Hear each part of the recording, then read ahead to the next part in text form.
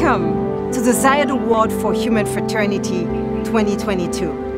And I'm so honored to be here with you for a celebration of human fraternity and to showcase the achievements of those who work towards its values. Within two years, the Zayed Award for Human Fraternity has made great global impact, sharing the message of human fraternity. FOKAL was created in 1995, and that's how the whole thing started. We are all very fortunate, for a life spent in the service of others is a life fully lived.